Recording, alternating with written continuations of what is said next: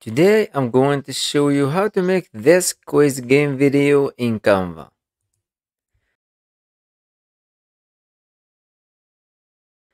Go to videos and open new video project with this resolution.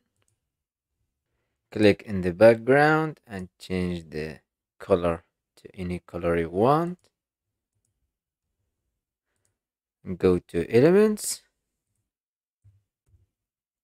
and type the name of any animal you want. Go to photos. Let's use this one. Go to text and add new text.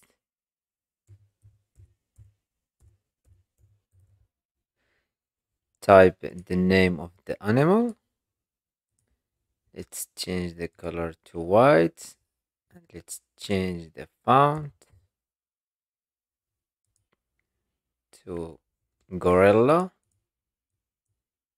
Go to effects. Let's make a black shadow. Increase the size.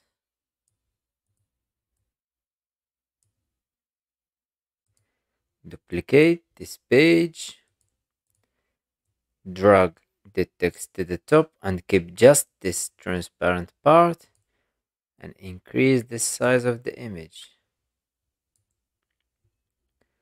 Go to edit and go to Duotone, Cherry and choose the black color